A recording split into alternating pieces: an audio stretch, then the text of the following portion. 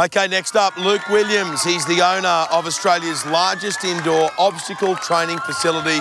Not a bad place to prepare for Ninja Warrior. Here he is. Give him a warm round of applause. Luke Williams. Luke Williams from South Australia, returning for a second time. Absolutely loves Ninja Warrior. Luke Williams looks like he's missed the crowd, he's missed the island, and he's missed the fellow competitors. And most of all, he's missed this course. He's here to do one better than season one. He is on fire, Luke Williams. And now here he is lining up the hang glider.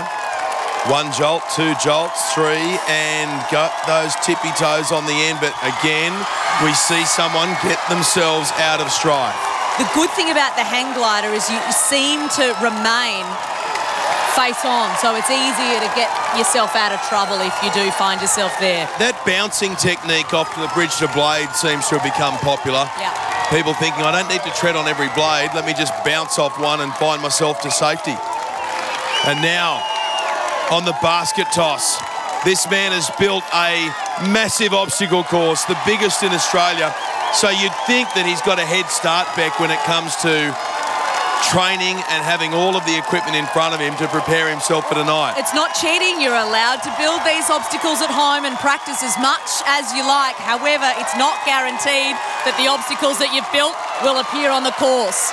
He's just got the patience to wait, to steady himself, yes, to make sure that he can go where he needs to go to succeed. And here we go now on the swinging spikes. Now, caution, caution on these swinging spikes. That one in particular, see how much give it's got. Oh. Ninja Luke with a big support crew at the moment. And isn't it good to see someone who has spent so much time preparing, so much time thinking about it, and now when the lights are on and the cameras are rolling, he's just doing everything right, Beck. Luke is doing everything right this run, and that is a perfect dismount. I don't think he'll have any trouble Oh, with the oh, warped wall. He's straight up it. Come on. Luke Williams. No, no, no, Luke. No, no, no. Don't tease us, please. Just hit the buzzer. Hit the buzzer.